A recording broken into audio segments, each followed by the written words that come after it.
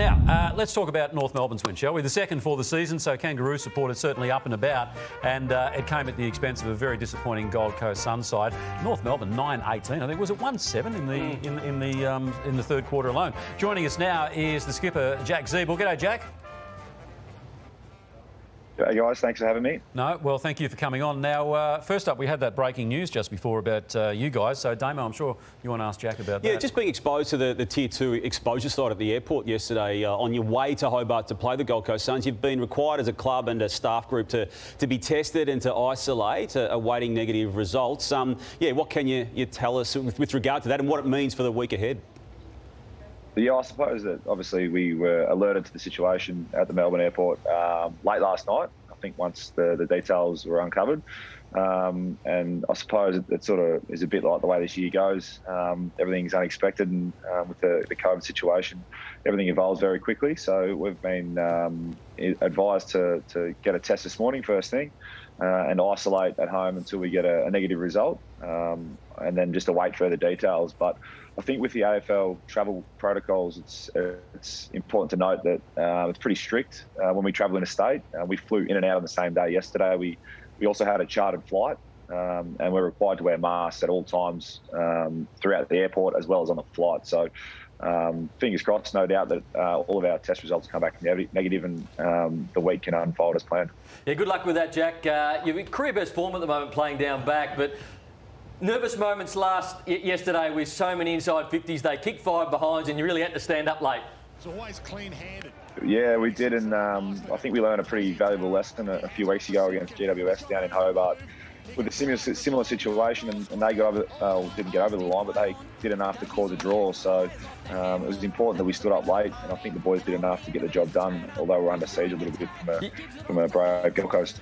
You were under siege late, but you did have more inside 50s, plus 16. I think it was plus 22 at one stage, apart from these inside 50s we're seeing late. So you had the run of the game for most of it.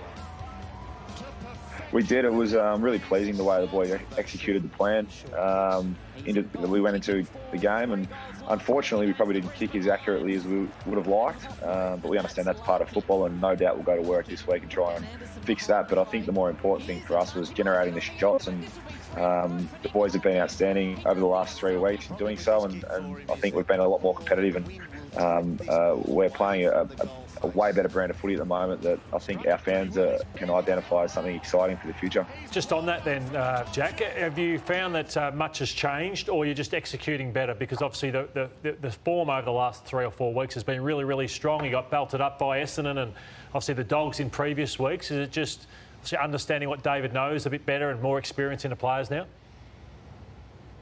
Yeah, I think all the above, Lloydie, to be honest. Um, the first probably four to six weeks of the season, we were probably underdone, and um, having a new coach come in a shortened pre-season, um, along with a few injuries and um, new coaching staff and, and, new players, it was a bit of a challenge to get that up and running at the start of the year. But every week we've worked our butts off at training, um, tried to implement the plans best we can each week in games, and I think we've learned valuable lessons week in, week out, and um, we've come to a point now that the, the effort and the consistency and effort for us has um, been really good and really strong um, which has enabled us to really, you know, compete hard um, and implement some stuff that Nobes has been putting in place at training over the last few weeks, and uh, we can see that coming out positively in games. And, and I think we've probably uh, deserved to win the last few weeks the way we've played, and, and thankfully on the weekend we got to share that as, as a group.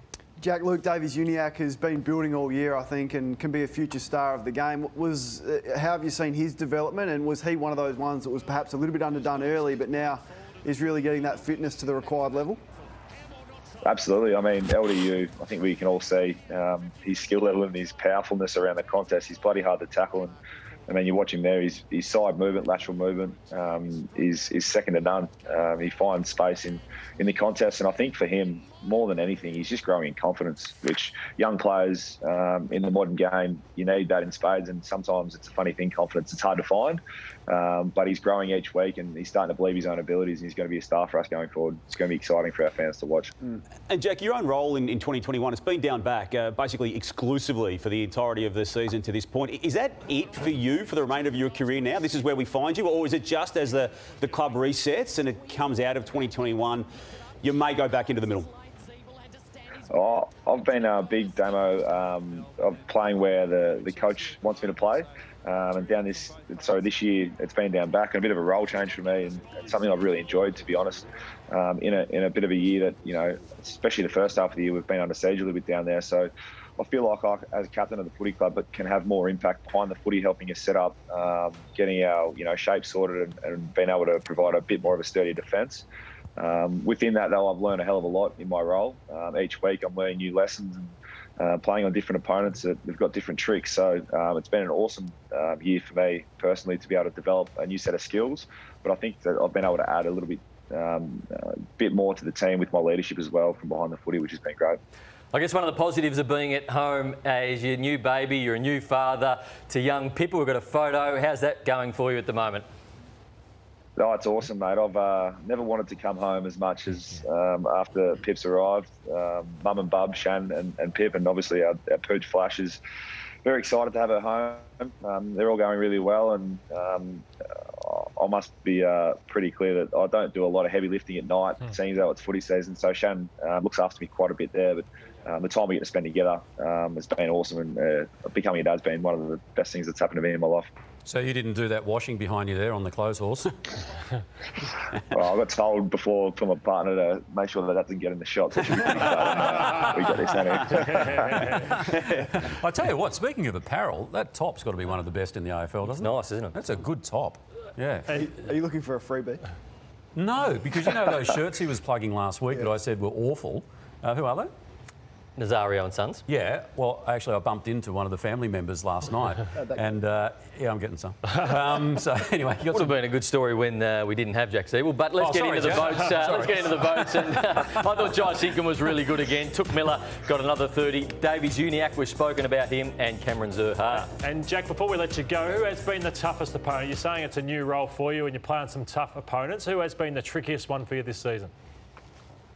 Well, there's probably a couple um, Lloydos, a couple of tall boys I've had to play on earlier in the year. Um, I mean, Josh Bruce kicked 10 goals against us in uh, in round three, I think it was, and we got him again this week. So um, he was probably up there. Um, and also a couple of the, the quicker types um, in the small forward area um, generally challenge us older fellas. So uh, the tall boys and the small boys, it's a good mix. It's, it's, oh. a, it's been a good uh, learning uh, year, so it's been fun. Good on you, Jack. Good to see you. That uh, dog you mentioned, Flash, is that the one that we put the uh, the uh, APB out on a couple of years back, the one your dad lost?